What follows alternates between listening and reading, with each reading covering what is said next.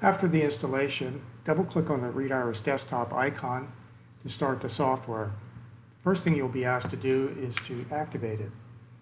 Go back to that order confirmation email, highlight the activation code, and choose Copy. Come into the Readiris software, right-click into the first box, and choose Paste. Click on Activate Now. and The software should automatically activate and move you to the next screen, which is registration. Complete that information, click on Register Now, and the software is ready to go.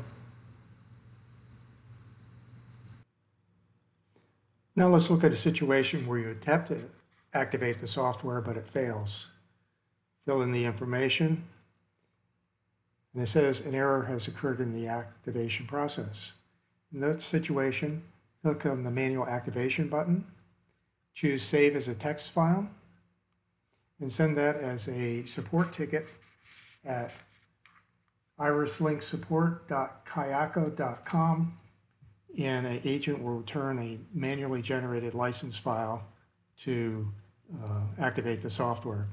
Reasons why this might happen is you have no internet access, a firewall is blocking the uh, outbound ports, or some other situation. In any case, there is resolution to the issue. We hope this helps, and thanks for watching.